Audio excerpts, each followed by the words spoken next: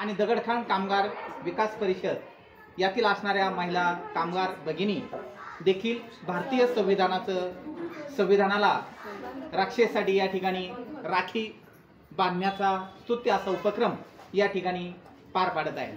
तर महिला भगिनी भारतीय संविधानाचं राखी बांधून या ठिकाणी हे संविधाना तू आमच्या देशाचं रक्षण कर आमचं रक्षण कर अशा प्रकारची एक अर्थ हा या माध्यमातून दिली जाते. आहे जिंदाबाद. बाकी इतरही भगिनी भारतीय संविधानाचं या ठिकाणी पूजन आणि राखी बांधून या ठिकाणी संविधानाप्रती असणारा आदर जो संतुलन संस्थेने कायमच गेली पंचवीस वर्ष